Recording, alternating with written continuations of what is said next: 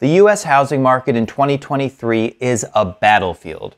It's buyers versus sellers, the Fed versus inflation, mortgage rates versus budgets. So let's cut the crap and go straight to the front line. This is the latest graph from Redfin showing the mortgage payment on a median priced U.S. home. And as you can see, we finally backed off the all time high of $2,563 to land this week at $2,556. Last year, when rates spiked from 3.5% to north of 7%, we tested the $2,500 plus payment twice. First in June 2022, then in October 2022, when the median payment topped out at $2,505. So we found a resistance zone in monthly mortgage payments, 2,500 to $2,550. On one side of this battle are sellers and interest rates, both trying to keep home prices as high as possible. And on the other side are buyers and their budgets, trying desperately to afford anything given their very real limitations. But if we look closely, we also see a support level for mortgage payments. Last year, when mortgage rates temporarily fell twice, monthly payments fell with them, but only to a point, only to a support level around 2,200 to $2,250. In other words, lower rates brought price relief, but buyers would allow only so much relief before bidding set a price floor. Buyer competition prevented the median mortgage payment from falling below $2,200. Now here's what's unsettling. This band that we've established that shows where monthly payments now live is $500 above last year's band and $700 above 2021's band. How do we get here? And where the hell are we headed now? It goes without saying that the principal inputs here are pricing and mortgage rates. These two variables dictate the monthly payment. So let's start there, but not waste too much time on the obvious. After spiking briefly on the news that Tom Hanks contracted COVID in Australia, the average US mortgage rate fell and stayed very low until the end of 2021 when Fed rate hikes became inevitable. In this low rate environment, home prices climbed and climbed and then really climbed as high home buyer demand gorged itself on practically free money. By June 2022, however, rates were above 6% and pricing took a real hit, generally falling since. It's been several celebratory months for the crash bros amongst us. According to Redfin's latest data, the median home price is down 12% from its peak. But returning to our monthly payment chart, we see that monthly payments are still higher than ever.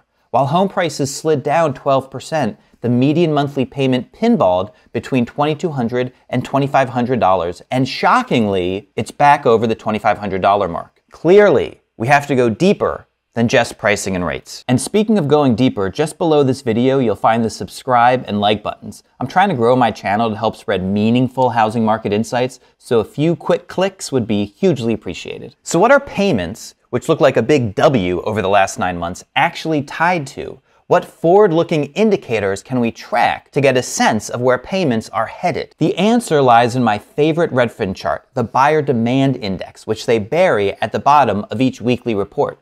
Redfin tracks internal metrics like page views and showing requests to track buyer demand over time. As we can see, demand is very sensitive to rate increases. When rates shot up to 6%, demand fell off a cliff.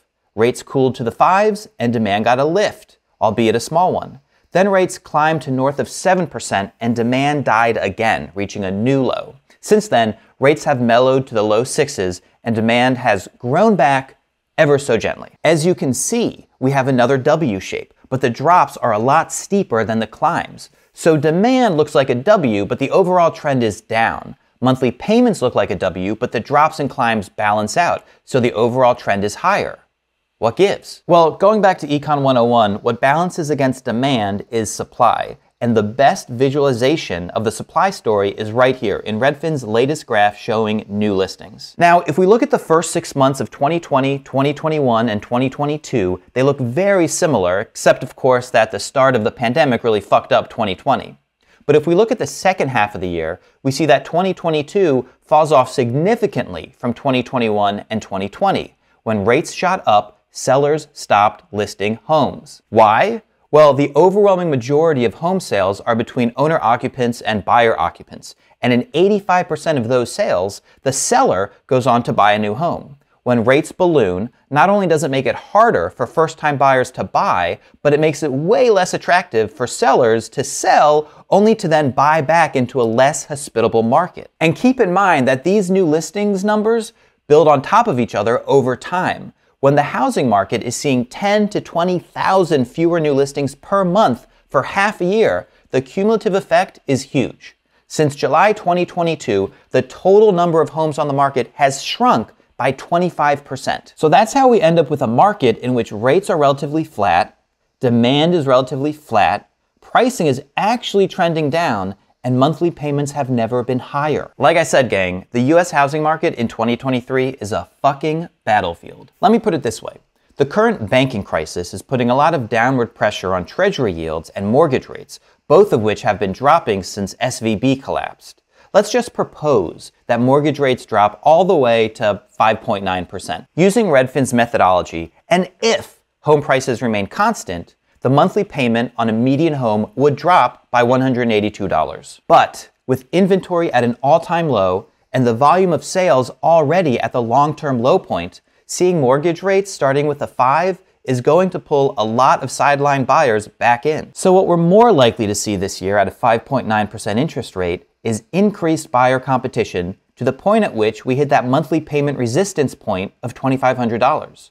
Translation A drop in rates to 5.9% means a $20,000 lift in the median home price and a net wash to homebuyers. And you may think this is wishful thinking from a greedy realtor, but look at the data. Look at this very clear band. The question is outside of an all out economic collapse, what's going to knock us out of this band and get us back down to this band? Or maybe the question is, are we ever getting back to this band again? Common knowledge would suggest that, of course, we are. Of course, we're in a bubble. Of course, home prices will return to earth like they did in 2008. But this isn't 2008. Like I said, the US housing market in 2023 is a fucking battlefield. And as much as we want to draw connections between 2023 and 2008, it's also important to understand how these two moments in time are quite different. Grab a stiff drink, take a seat, and check out this video for some hard truths, and subscribe here for more no nonsense, no BS insights into the US housing market.